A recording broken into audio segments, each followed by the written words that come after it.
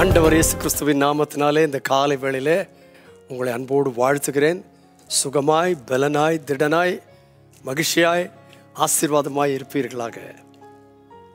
இந்த செவ்வாய்க்கிழமை காலையில் முப்பத்தி ரெண்டாம் சங்கீதத்தின் சில வசனங்களை நான் உங்களோடு பகிர்ந்து கொள்ள விரும்புகிறேன். முப்பத்தி ரெண்டாம் சங்கீதத்தினுடைய முதல் வசனம் என்ன சொல்லியிருக்குன்னு கேட்டால் எவனுடைய மீறுதல் மன்னிக்கப்பட்டதோ எவனுடைய பாவம் மூடப்பட்டதோ அவன் பாக்கியவான்.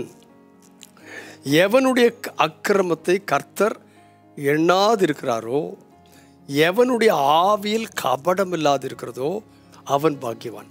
ஸோ பாக்கியவான்கள் யார் என்று சொல்லியிருக்கிறது. அப்படியானால் மீறுதல் மன்னிக்கப்படாதவன் யாரோ பாவம் மூடப்படாதவன் யாரோ அவன் அபாக்கியவான். யாருடைய அக்கிரமத்தெல்லாம் கர்த்தருடைய கண்களுக்கு முன்பாக வந்திருக்கிறதோ எவனுடைய ஆவியில் கபடம் இருக்கிறதோ அவன் அபாக்கியவான். ஆனால் இதெல்லாம் சொல்லிட்டு தாவிது திரும்ப சொல்லுகிறார் நான் என் அக்கிரமத்தை மறைக்காமல் என் பாவத்தை உமக்கு அறிவித்தேன். என் மீறுதல்களை கர்த்தருக்கு அறிக்கையிடுவேன் என்றேன். தேவரீர் என் பாவத்தின் தோஷத்தை மன்னித்தீர். இதை சொல்லிட்டு அவன் சொன்னான் ரொம்ப அழகான ஒரு வார்த்தை சொன்னான்னு கேட்டால் இதற்காக சகாயம் கிடைக்கும் காலத்தில் பக்தி உள்ளவன் எவனும் உம்மை நோக்கி விண்ணப்பம் பண்ணுவான். இப்போ கர்த்தரை நோக்கி நம்முடைய பாவங்கள் அறிக்கையிட்டு கர்த்தரை நோக்கி விண்ணப்பம் பண்ணினால் என்ன நடக்கும்? சகாயம் கிடைக்கும் காலத்தில் பக்தி உள்ளவன் எவனும் உம்மை நோக்கி விண்ணப்பம் பண்ணுவான். அப்பொழுது மிகுந்த ஜலப்பிரவாகம் வந்தாலும் அது அவனை அணுகாது. ஒரு ஜலப்பிரவாகத்தின் காலத்தில் நாம் வாழ்கிறோம். கடைசி காலத்தில் வாழ்கிறோம். ஆனால் ஜலப்பிரவாகம் வந்தாலும் அது அவனை என்ன செய்யாதாம்? அணுகாது. மத்திய சுசேஷன் ஏழாம் அதிகாரத்தில் ஆண்டவராகி கர்த்தர் சொன்னார் கற்பாரின் மேல் கட்டினவன் மணலின் மேல் கட்டினவன்.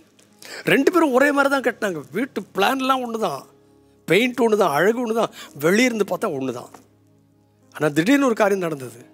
பெருமழை வந்தது பெரும் வெள்ளம் வந்தது காற்று அதன் மேல் மோதி அடித்தது.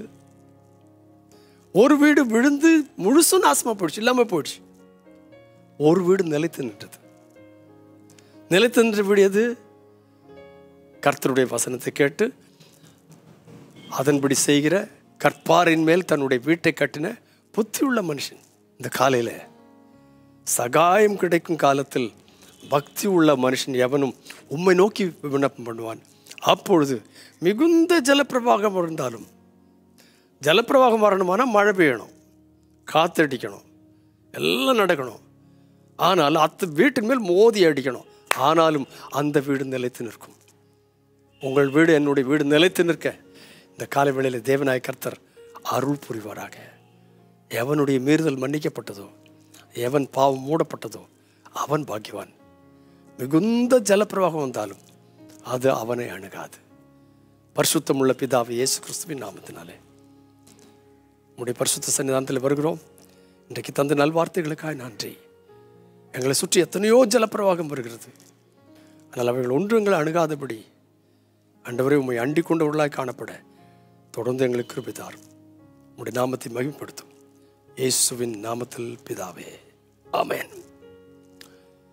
விண்ணப்பம் பண்றவன் யாரு? பக்தி உள்ளவன் எவனும் நோக்கி விண்ணப்பம் பண்ணுவான். மிகுந்த ஜலப்பிரவாகம் வந்தாலும் அணுகாது.